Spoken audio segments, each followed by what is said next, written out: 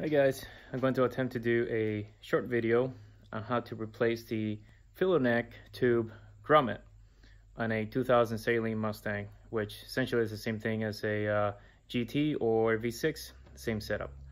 So let's see how this goes. So this here is where you replace your hydraulic jack or jack that you have. This is in front of the right rear tire and slightly inside of the um, body kit uh, fairing. It's a metal, it's a solid metal structure that is it's got a flat surface and that's where you will place your jack. Okay, so this is where I place the jack. As you can tell, it's right on the frame in between the uh, bracket that the exhaust is welded onto. That's a uh, plus or um, rubber bushing, so we don't want to put the jack there. And uh, we put it, I place it just between the rear bumper and the uh, rubber bushing, right underneath the uh, the uh, metal frame there.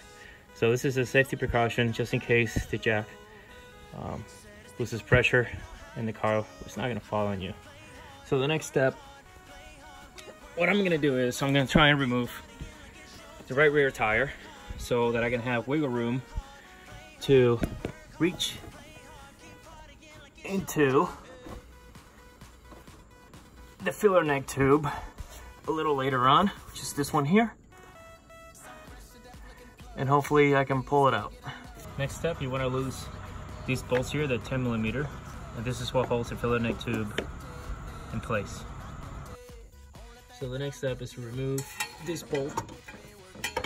It's with an 8 millimeter socket, which will allow you to pull the filler neck tube out. And uh, this is a uh, essentially a bracket that's holding it in place. So now that it is removed, the next step is to disconnect these vent lines here. And this one here is an 8 millimeter. Let's loosen it up.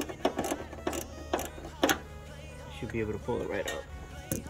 Okay, so these are notoriously difficult to remove once everything is loose. So the next step is to remove these bolts here, which then allow this plastic casing to move freely. And theoretically, we'll see if we can move the uh, filler neck tube and wiggle it out that way. In the meantime, I'm going to sp spray some PB Blaster or WD-40 around the crevices here in hopes of loosening some of this stuff up and lubricating it so that when the time comes to wiggle it out, it comes out a little bit easier. So I'm spraying all around and gonna let it settle. These bolts, they're not your Allen type of uh, bolts. They're more like in a star pattern. So these different type. Just be aware of that. And it should come right out. So now that all of these bolts are removed, as well as the cover, the gas uh, cover is part of that. As you can tell, you can wiggle this plastic cup essentially around. So what I'm gonna do is I'm going to reach over into the trunk. On the right side, I'm going to remove all of these covers here and reach that plastic cup from in here. Okay, so once you have gained access to that area by moving some of these fairings out of the way, as you can tell, I can move this freely back here and the filler neck tube actually separates from that plastic cup I was uh, mentioning earlier. Then the next goal will be to remove these bolts here, which will allow me to remove this uh, plastic um, grommet, so to speak, um, out of the way. And then once I do that, then I should be able to move the entire filler neck tube around as needed. Um, it looks like there's always there's also a vent hose here that I will have to address as well. But for now, I'm going to focus on removing these bolts here. So these bolts are also 8 millimeter bolts. And like so, remain, uh, remove the other two. So now that the bolts have been removed, as you can tell, I can move this freely. This will come up.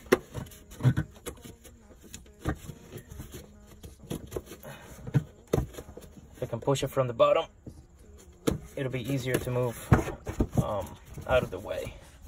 Let's see if I can uh, flathead, kind of work my way in here.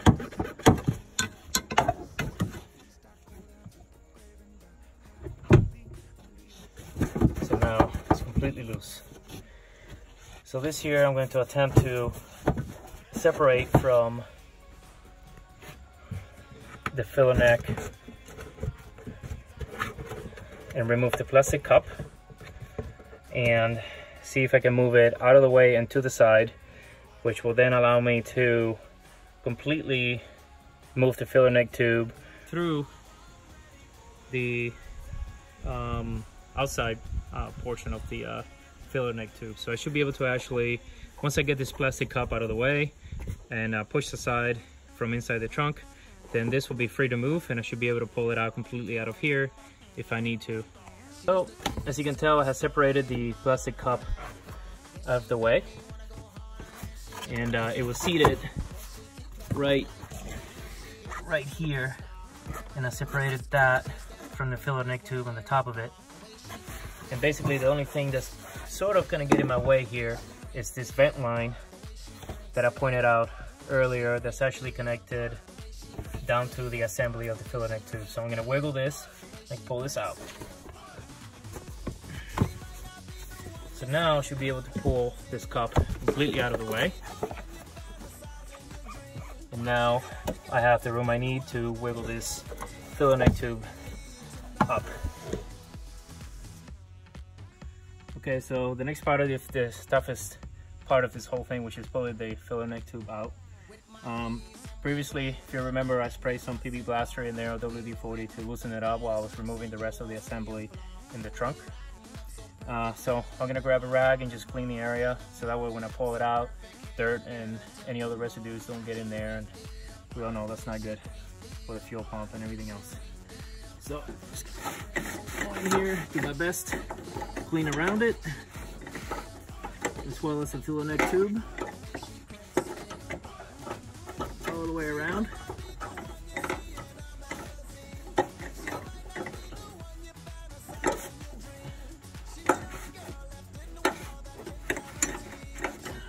Alright, this is clean, I'm gonna get it. So the plan is to grab it like so, and up here, if you can film up here, I have a hold of the filler neck tube from the top. So while I pull at the bottom, I'm going to also assist with my left arm um, and guide it upward. So I'm gonna pull toward me and then slowly gonna guide it up. See how this goes. Okay, so, so far so good. I felt it move. It's coming out. Now wiggling it through the top hole while I continue to pull. Okay.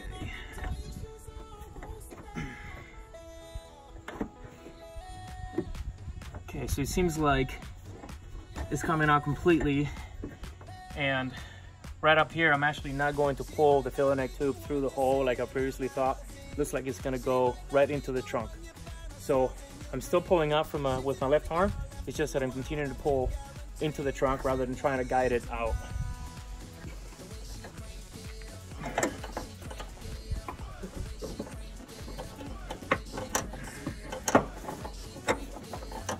Be careful, of course, not to break the plastic filler neck tube. Be patient.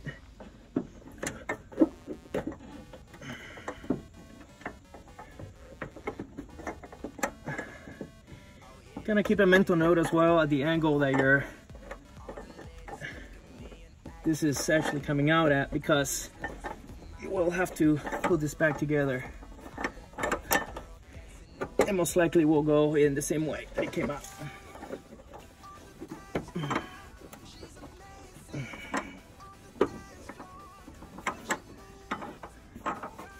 So this vent is getting in the way, so I'm gonna go ahead and move it out of the way, just over this bracket here. I need a better angle on this.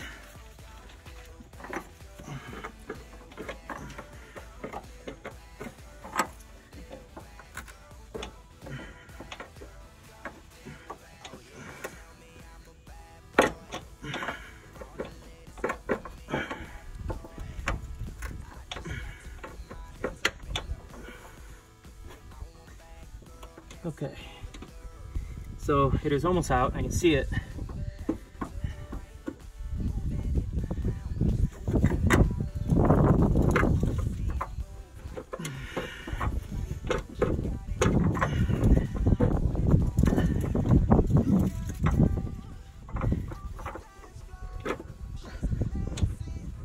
Okay.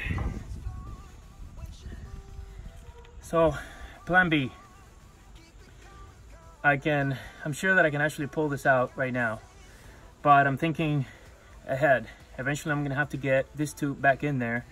And since I'm struggling so much to get it out, just because of the angle, what I'm gonna do is I'm just going to loosen up, not completely remove, but just loosen up the bolts that are holding uh, the tank up. Um, and then hopefully that'll give me just about half an inch to an inch more. And that's going to allow me to remove this here, come more comfortably, and also install it back later. So right in front of the tank, you're gonna see two bolts. This uh, socket is 13 millimeters. You're gonna stick it in here. You got one there, and you've got another one closer to your exhaust, your right hand exhaust. And again, these bolts are pretty long, but we're not we're not taking it out completely. We're just going to loosen it up just enough to get the tank a little bit lower. Okay, so I'm gonna loosen up one at a time since I don't have anything holding the tank up. Um, of course, I don't want to go all the way out. I still have the other strap holding the tank up, so it's not gonna be a problem. I'm gonna loosen this up a little bit, make sure that it still has threads in it, and then I'm gonna work on the other one.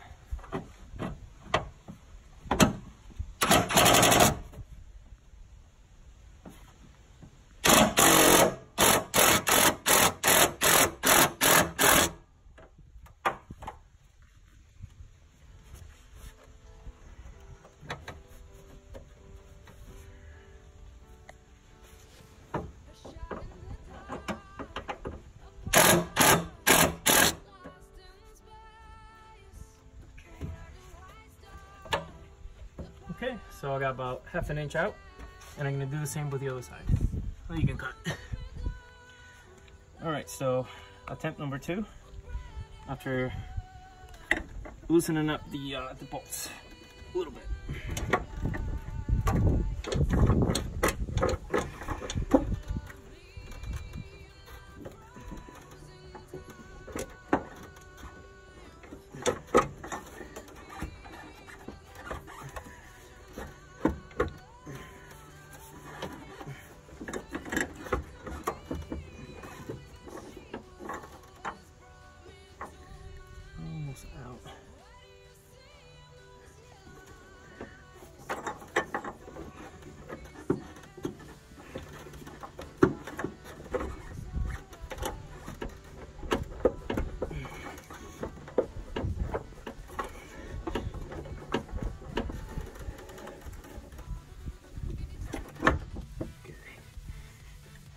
Looks like I'm gonna have to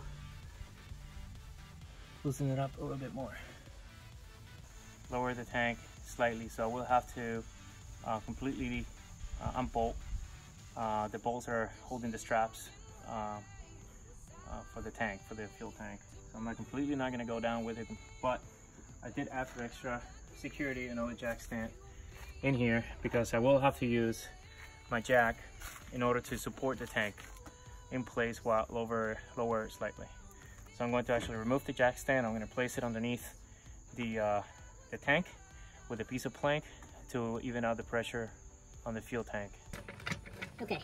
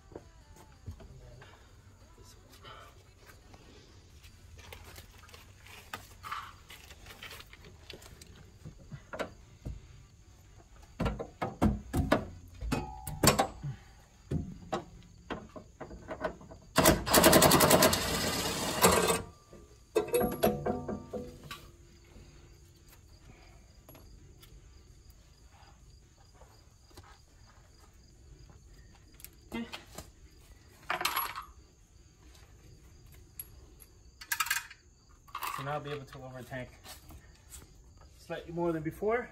And that should be enough room to wiggle this out and hopefully be easier to put it back together later.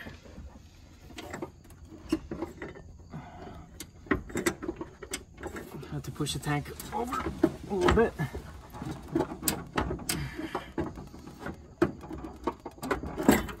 And there she is.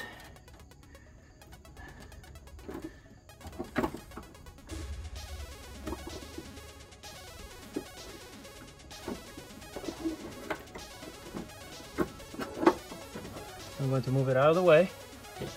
I'm going to show you the condition of the grommet and why it was leaking so badly.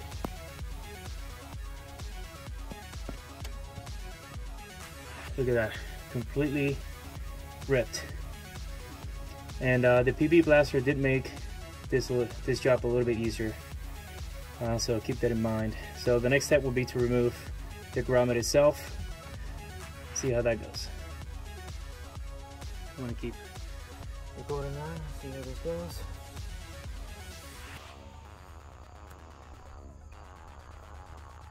So I'm going to remove it by sticking my finger through. Let's see if I can figure out a way to do this without dropping any residue into the tank. Yeah, this is completely complete shape.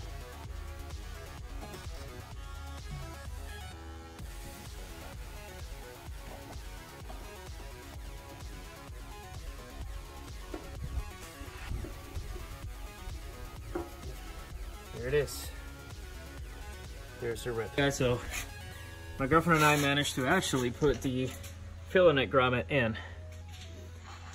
And unfortunately, even though at the start of the video I said that this will be about how to do it without dropping the tank, well, it was a half truth. So we ended up actually uh, having to drop the tank about uh, about a quarter to halfway down, uh, just enough so you can get enough wiggle room, um,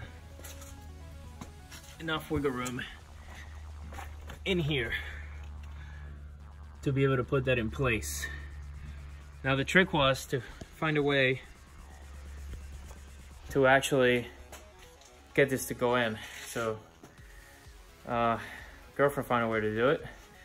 And essentially this little lip you have here, you're going to keep that pointing up. You're going to bend it this way so that it forms a cone shape like so.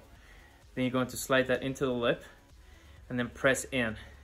And obviously this is gonna be a lot uh, wider than the diameter, but what you're gonna do is once you have the top and the sides, this kind of like quarter part in place like so, you're gonna slowly start pressing on the sides and then around and around and eventually all, all this area here will start going in and you're gonna get to the part where you're gonna have a little piece like, like that sticking in And the way you get that in is by pressing really hard on the outside, like so. And at the same time, I found it useful to get one of these since it's not sharp to kind of help me get some of these edges in there. Didn't quite help me that much, but it helped me a little bit. Uh, there, most of it was essentially just using your hands. And uh, I did have to cheat a little bit. I know I said I'll use PB Blaster, um, but I ended up actually using grease. And basically, uh, the grease went just around the lip area, since this is what's going to make uh, contact. And uh, that's how we did it. So the next step would be to work on installing the uh, filler neck tube in there. Alright, so I almost got the filler neck tube aligned. And basically what I had to do is I had to drop the tank at an angle. So what I did was I put a jack stand on the passenger side and then I wiggled the tank um, while dropping the jack so I can get it on an angle like this and then uh, hopefully this will allow me to slip the uh, neck tube in there a little bit easier. Okay guys, so that angle that I, I was at, I was able to slip that in no problem at all. Um, I did use a little bit of uh, grease, just barely enough um, around uh, the tube and uh, just just like I when I pulled it out I used a little bit of leverage from reaching from the top with my left arm and then right arm guiding the tube in and then it went in without without any issues at all so right now I'm going to work on strapping the tank back into place and then after that I'm going to start putting the, uh, the vent uh, lines back in and then I work my way to the trunk and then uh, putting all the pieces back together there. Okay guys, I just finished uh, putting the gas tank straps back into place and the first thing I did in the trunk was that I took this the plastic cup um, and I put it in place. I haven't tightened anything down yet uh, so I just put it in place. There are no bolts here yet so the first thing I'm going to do is I'm going to bolt down this from the outside. And uh, now that we're here, I'm to go ahead and put this vacuum line back, this vent line back in. And then I will tighten these and then make my way down, make my way down to uh, down below the tank and then secure that one uh, uh, bracket that is uh, uh, that was holding the filler neck tube in place, which is this one here. Once I got this in place, then I will work on securing the next vent lines and then putting the cap back on and the cover and uh, we'll be in good shape.